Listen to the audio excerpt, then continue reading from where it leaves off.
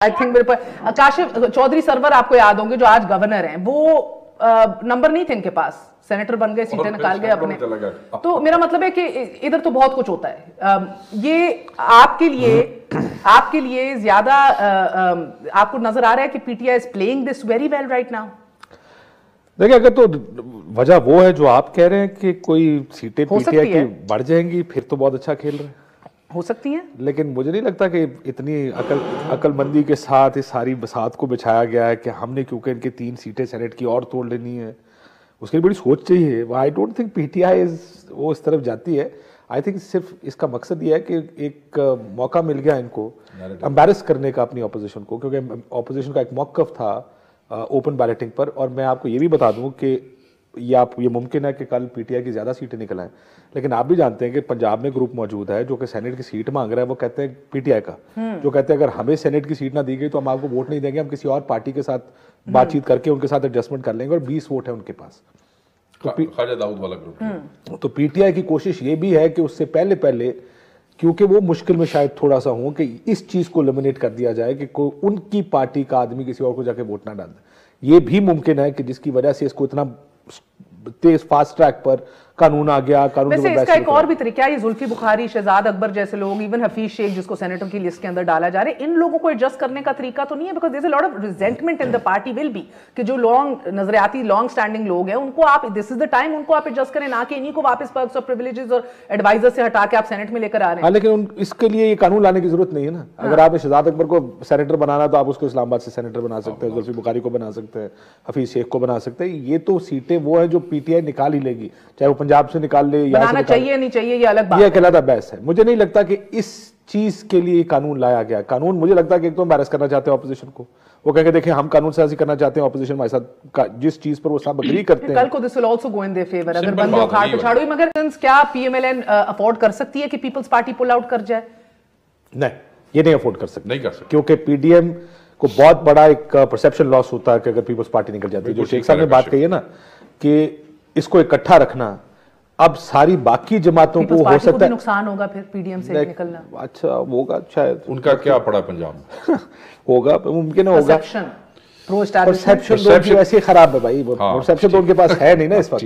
देखिए रोला यह है कि पीपल्स पार्टी को जो उन्होंने बात की थी मैं दोबारा उस पर आ जाता हम्म। कि पीपल्स पार्टी को कोई नहीं चाहता वो निकल वो निकल जाए तो बाकी का पीडीएम की वैल्यू कोई नहीं रहती। अगर पीपल्स पार्टी कहे जी हम तो इस्तीफों पे आपके साथ नहीं और वो पीडीएम से अलहदा हो जाते ये बहुत बड़ी हिट होगी। फ्रॉम इस्तीफे दें हुकूमत गिराएँ एट एनी कॉस्ट अब बात इस पर आगे कि दोस्तों क्या हो सकता है?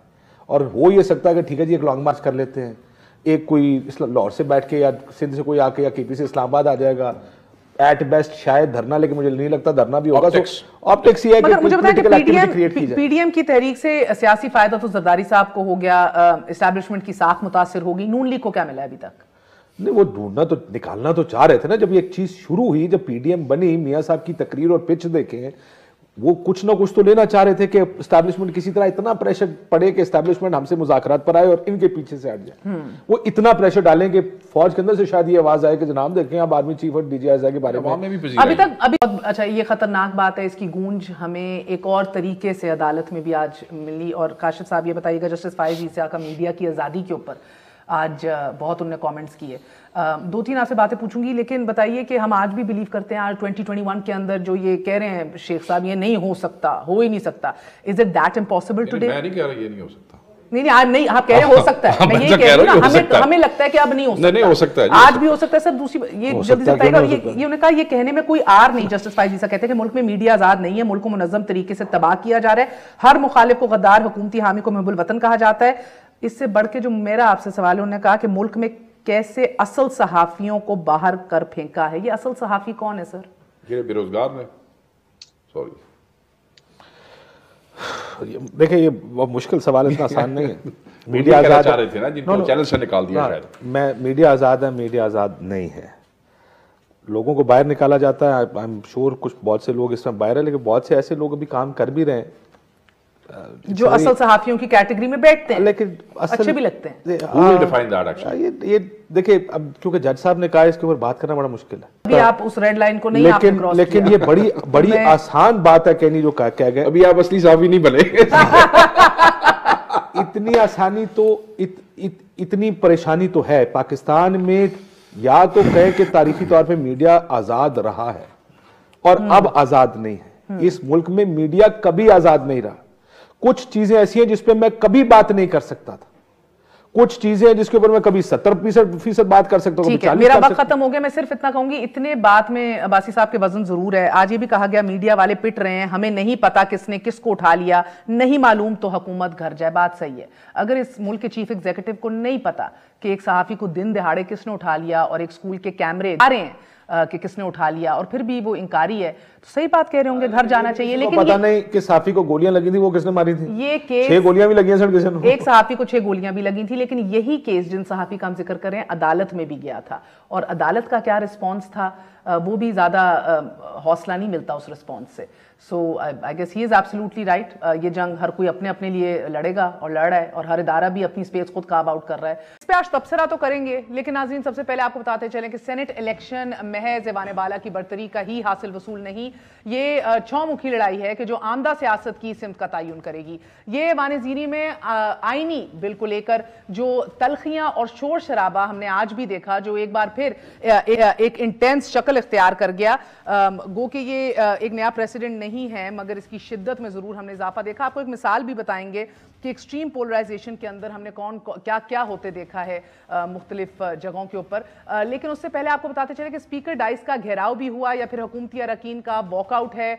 इसकी बुनियाद ही वाने बाला का मार्का है। और अब तजियाती नंबर गेम ये बताते हैं कि ऐवान बाला में हुकूमत की मामूली सी फतह तो यकीनी है, मगर आइनी तरमीम पर नाकाम होती हुकूमत को ये शुबा के सेनेट इंतबात में कहीं खुफिया हाथ सफ़ाई ना दिखा दें।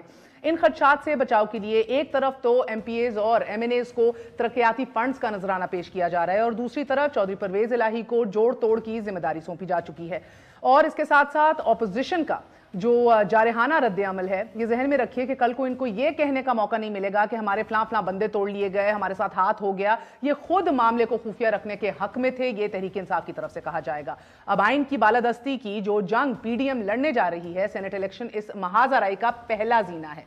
सेनेट के नतज ये तय करेंगे कि पीडीएम के तिलों में तेल कितना है और हकूमत के पाँव में दम कितना है। इस इंतखाब से हकूमत का वज़न भी मालूम होगा और साथ ही हुकूमत के इतिहादियों के इरादे भी आया हो जाएँगे। पी डी एम इतिहाद की आ, आ, साथ साथ कड़ाई भी खुलेगी और अपोजिशन अरकान की पार्टी से वफादारियों का इम्तहान भी ये साबित होगा। तरीके अदम अतमाद का वार भी और इस्तीफों की ललकार भी इन्हीं नतज की मरून मिन्नत है। और वो लॉन्ग मार्च के जिसने वोट को इज़्ज़त दिलाना है या जिसने सियासत इस्टेब्लिशमेंट की मुदाखलत या रोल किरदार को कम कराना है, वो अब महँगाई कम करवाने के नाम पर महँगाई मार्च होने जा रहा है। या यूँ कह लीजिए कि तरीका बदलो के बाद जिस तरह इस्तीफे सेनेट सेनेट और जिमनी इलेक्शन लड़ने चले गए वज़ीर आज़म को कुर्सी से घसीट कर उतारने वाले अदम एतमाद की तहरीक लाने पर मुसर हो गए हैं। और अब लॉन्ग मार्च तरीका बदल कर महँगाई मार्च हो गया है। और लगता यही है कि महँगाई मार्च भी अप्रैल में खैबर पख्तूनख्वा के बल्दियाती इंतबात लड़ने ना चला जाए, या फिर कि पीडीएम के प्लेटफॉर्म से इवन एज यू स्पीक जिस मुजामती बयान को लेकर हुकूमत पर बार के इरादे थे पीपल्स पार्टी के किरदार ने, अब इस मुफामती बयान ने, इसको एक मुफामती बयानिया बना दिया है कि हुकूमत पर भी रहे और वक्त भी मिल जाए। हुकूमत ने भी बड़ी महारत से पीडीएम को उलझाए रखा है। पहले मुकदमात में, फिर कोरोना में, फिर आइनी तरमीम में और सेनेट इंतबात में, फिर अप्रैल में खैबर पख्तूनख्वा के बल्दियाती इंतबात में और फिर माह रमज़ान की बरकत में और फिर ईद के बाद पंजाब में बल्दियाती इंतबात में। यूँ कह लीजिए कि जून, जुलाई तक हकूमत हिफाजती इंतज़ाम कर चुकी है।